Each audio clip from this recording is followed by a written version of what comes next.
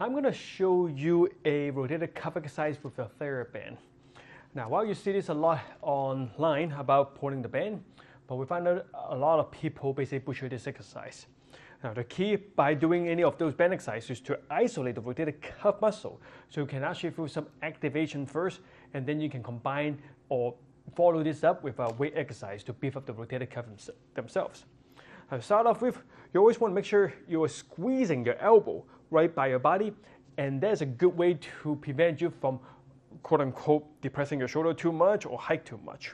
So now, just find an area that you feel, or the height that you feel comfortable with, squeeze your elbow towards yourself. You should not see any, again, more compression or depression of the shoulder blade. You basically shouldn't see any movement when you do that.